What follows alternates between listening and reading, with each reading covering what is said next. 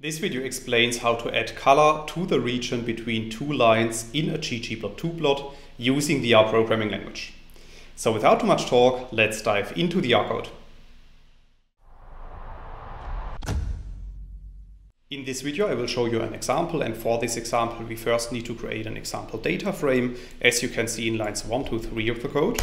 So after running these lines of code a new data set called data is appearing at the top right and if you click on this data frame, a new window is opened, which is showing the structure of our data frame. And as you can see, our data frame contains five rows and the three columns X, Y1 and Y2. Now, in this tutorial, we want to use the ggplot2 package to draw our data. And for that reason, we also need to install and load the ggplot2 package, as you can see in lines 5 and 6 of the code. I have installed the package already, so for that reason, I'm just going to load it with line 6 of the code. And then in the next step, we can use the functions of the ggplot2 package, as you can see in lines 8 to 10, to create our ggplot2 line plot. So after running these lines of code, a new ggplot2 plot object is appearing at the top right, which is called ggp. And we can draw this plot to the bottom right of RStudio by running line 11 of the code. And then you can see that we have created a line plot that contains two different lines. However, you can also see that at this point, there's no color between these two lines. So in case we want to add color between these two lines, we can use the geom ribbon function, as you can see in lines 13 to 17 of the code. So as a first step, I'm specifying the plot object ggp that I have created before. And then I'm adding to this the geom ribbon function. And within this function, I'm specifying the aesthetics to be equal to our x y1 and y2 values. And then I'm also specifying the filling color to be equal to this hex color code. So after running lines 13 to 17 of the code, you can see that our plot is updated.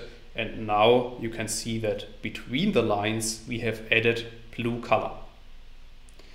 We can also add shading between two lines. And this is what I want to show you in the next part of the code in lines 19 to 24 of the code.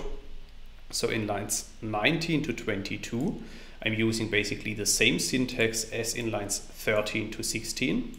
However, then I'm setting the filling color to be equal to gray. And then I'm also using the alpha argument to add a certain level of opacity to our color. So after running lines 19 to 24 of the code, our plot is updated once again. And as you can see, we have added some kind of shading between the lines, which is transparent, as you can see, because you can still see the lines of our grid of the plot in the background of the shading. That's all I wanted to explain in this video. In case you want to learn more on this topic, you may check out my homepage, statisticsglobe.com, because on my homepage I have recently published a tutorial in which I'm explaining the content of this video in some more detail. I will put a link to this tutorial into the description of the video so you can find it there.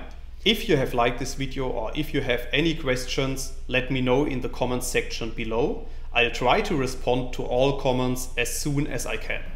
Furthermore, make sure to subscribe to my YouTube channel to get notified about future video releases.